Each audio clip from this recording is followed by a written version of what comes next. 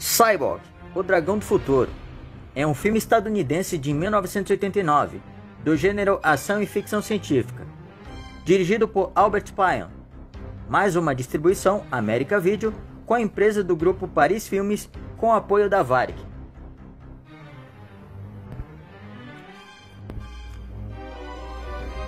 Cyborg é protagonizado por Jean-Claude Van Damme, co-estrelado Deborah Richter antagonizado Vincent Klein, Alex Daniels, Dale Hendon, Blaze Long, Ralph Muller, Hella Peterson, Terry Batson e Jackson Rock Picnic.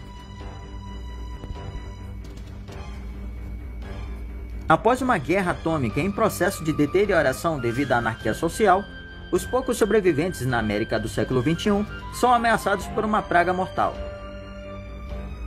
Apenas Pearl Prophet uma bela criatura, meio humana, meio robô, possui conhecimentos para desenvolver a vacina contra essa misteriosa praga.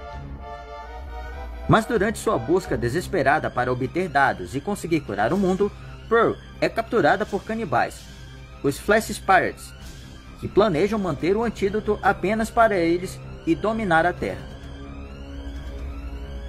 Para defendê-la, surge um guerreiro, Gibson Rickenbacker, que no passado teve sua mulher assassinada e sua filha capturada pelos Flash Pirates.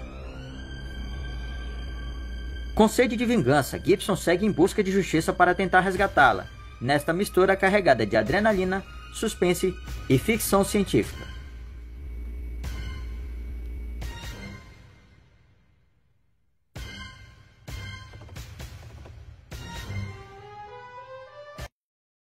Uai, seu app de vídeos curtos.